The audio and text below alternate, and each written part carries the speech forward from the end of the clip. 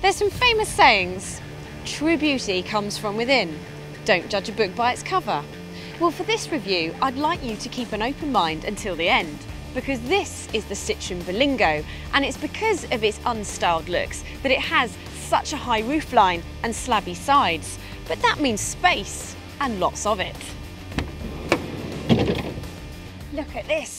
Three proper size seats for three average size adults. They even recline. So if you like going on driving holidays and you stop for in-car picnics, I dare say this is a lot more comfortable than being squeezed into the back of a normal car. They even come equipped with trays for said in-car picnics. No, I mustn't stop for lunch. I need to show you the space in the boot. And as for the size of this boot, well, you could quite easily fit everything you need in here for a camping holiday. And if you need extra seats, you can go for the seven-seater option. But if you want to use your Berlingo as a van, you can even remove the seats altogether.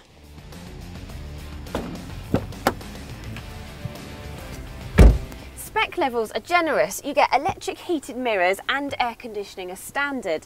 And if you go for the XTR over the VTR, you get a child pack, which includes this little mirror here. So you can keep an eye on them and make sure they're behaving. And whether you're very tall or not, there's enough adjustment in the seat for you to get comfortable. Now, as for storage, I was expecting a small compartment here, but I feel a little bit like Mary Poppins and I'll show you why. Forget the car by a big bottle test, it's the car by a big handbag test.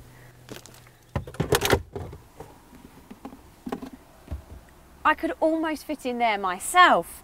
And that's not where it ends. There's so much storage in this car.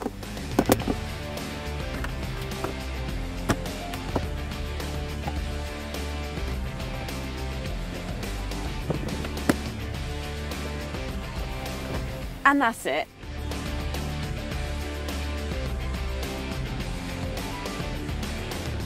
It drives a little bit like a van, which is not necessarily a bad thing because you sit high up and there's a good commanding view of the road. And the windows are large, which means visibility is really good. Considering the type of vehicle that it is, I'm genuinely impressed at how well it handles bends in the road. The suspension actually does a very good job. I was expecting it to roll about a bit more. It copes very well with some mildly enthusiastic driving, as does the engine. The one we're in today is a capable diesel and it returns over 50 miles to the gallon. However, that does bring me onto the car's negatives because increase your speed too much and the road, wind and engine noise gets quite unpleasant. Then there's the gearbox. Well, I think it could do with an extra gear.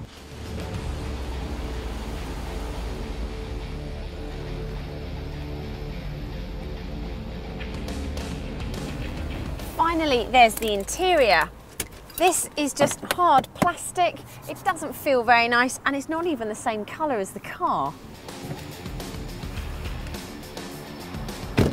Well, that pretty much sums up the Berlingo. And because of its van origins, commercial vehicles normally suffer a much more punishing daily routine. So reliability shouldn't be an issue here. Plus, the mechanics are very simple and the engines are tried and tested. So if it's extra space or extra seats that you're after, you could find it's one of the cheapest on the market.